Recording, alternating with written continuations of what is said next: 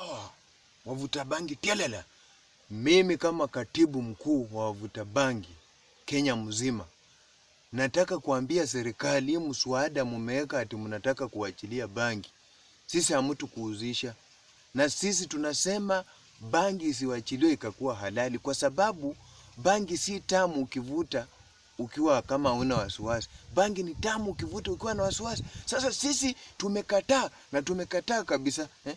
Bangi wasiachilie ikakuwa halali. Bangi inakuanga tamu wakati unavuta ukiwa na wasiwasi, hapo inaingia sana, lakini wakiachilia ikuwa halali kama sweet, sisi hatutavuta, na hiyo tutazushia mpaka serikali itasema bangi si halali eh?